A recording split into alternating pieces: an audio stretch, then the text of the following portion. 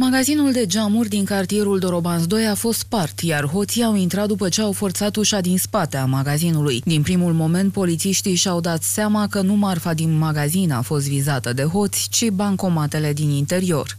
Hoții au intrat în magazin pe ușa din spate, dar având în vedere că este o societate care comercializează geamuri, este puțin probabil că aceștia au fost interesați de marfă. Cu certitudine, atenția lor a fost atrasă de cele două bancomate din interior. Hoții au intrat prin spatele magazinului pentru a nu risca să fie văzuți de cineva din stradă. Au distrus tot ce le-a ieșit în cale, după care au forțat unul dintre bancomate. Din dreptul celui de-al doilea bancomat au dat marfa la o parte, dar nu s-au atins de el. Pe motiv că se obstrucționează ancheta, polițiștii au preferat să nu comenteze această spargere. Biroul de presă al IPJ Buzău refuză să facă declarații legate de acest caz până în momentul în care nu vor fi prinși hoții care au spart magazinul. Surse din rândul anchetatorilor însă susțin că unul dintre bancomate a fost forțat.